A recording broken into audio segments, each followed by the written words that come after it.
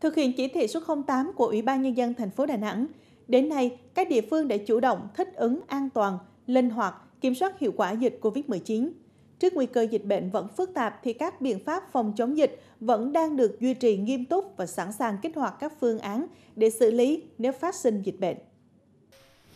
Sau gần 20 ngày không có ca mắc COVID-19 trong cộng đồng, mới đây một ca bệnh mới được phát hiện tại phường Tương Chính, quận Thanh Khê. Ngay lập tức, ngành y tế và địa phương đã khoanh vùng, phân tích dịch tễ và tiến hành phong tỏa hẹp, dừng xét nghiệm diện rộng để tầm soát.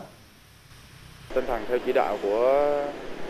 ờ, chính phủ cũng như của thành phố và các cấp thì ờ, cái việc ờ, thích ứng an toàn với tình hình dịch Covid này thì việc khoanh vùng chúng ta sẽ triển khai cái việc khoanh vùng hẹp và lấy mẫu xét nghiệm rộng để có cái tầm soát rà soát lại những cái trường hợp có liên quan để có cái bóc tách ra những cái trường hợp có liên quan đến ca bệnh. Từ các bệnh mới phát sinh tại phường Tương Chính là trường hợp về từ thành phố Hồ Chí Minh cho thấy nguy cơ dịch bệnh vẫn luôn thường trực.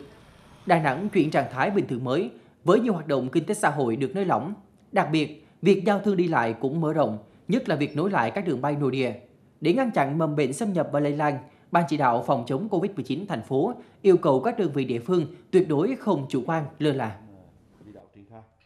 Các quận huyện và xã phường, các anh thành lập một cái tổ để xử lý cái việc này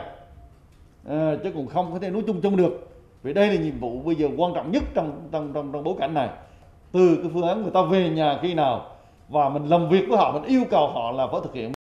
tuân thủ các cái quy định là về công tác tự cách ly ở nhà.